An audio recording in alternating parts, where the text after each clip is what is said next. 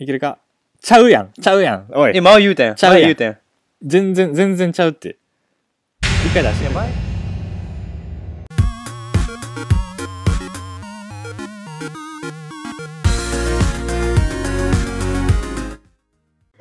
はいどうもスパトリです。です。はい。はい。で今回は、えーとトルネードという新しい呪文で新呪文で、ねえーホグライダーでね、えーとキングタワーにダメージをわざと与えさせることで、えーうん途中でもアリーナを壊されていなくても起動させるというね、ああ、なるほど。はいそれで防御力を上げるっていうね。はい、そういう裏技がね存在するということを大体の方は知ってると思うんですけどそのはい検証動画を上げていこうかなと思っています。なるほど。はい、でちょっといろいろ試したいところことがあって、んランバージャックというのは体力がある上にとても速いという、まあ、ジャンルのね、うんうんうん。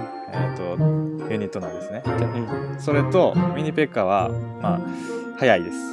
結構そうやな、早いからな。はい、速度移動速度速いでその3つのユニットを一応用意しているんでそれでもできるんじゃないかなって思ってるその、ホグ以外でもできるかっていうことか。あーやってみましょう。やってみましょう 行きましょう。はあ、トルネード来たわ。いナイスさじゃあ俺から行くで はい。え、何やったっけ？何で来る？ランバージャックで行こランマージャックで行きますか。うえっ、とこれはホグと同じ感覚で行ってもいいと思うよね。そうやな。どっちもとても早いし。そうとても速いやし。だから出す位置はさっき言ったようにさっきっていうかちょっと練習してた時と同じように あのキングタワーの前ね。前。前で。うん。前の端で。行くで。はい。はい。左から出しました。まあ左からってわあれやな。視聴者からしたら右からかなそうやね。はい。いけるか？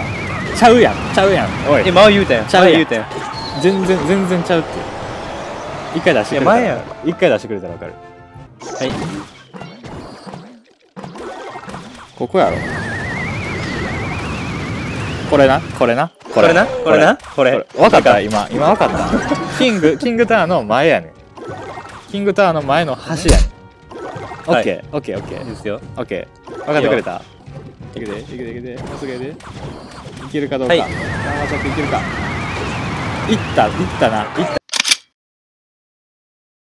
で次じゃあ俺の方にミニペッカを出してほしい。ペッカでいけるのかという。ダメージ通り過ぎて死ぬんちゃう？ああ、当たってないな。あれ？俺1個後ろやった当たんね。はいじゃああれやな。吸い寄せれへんってな。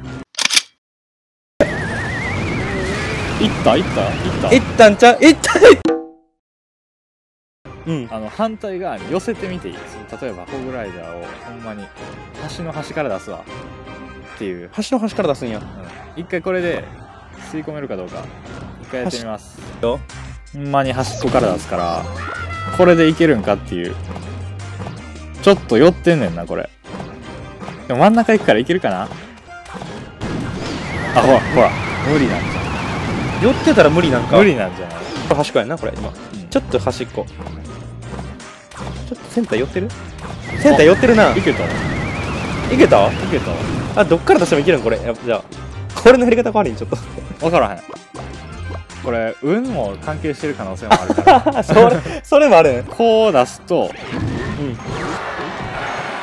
こう寄っていくねんな。で吸い込んで吸い込んで吸い込んで。あこれこの位置やったら吸い込んでんけど。あの見たかな？ほ見たかな？分かったかな？あの一個右に寄って歩いていってんねん。あそうそうそうそうそう。あ、なるほどな。うんうん。だから右に。うん。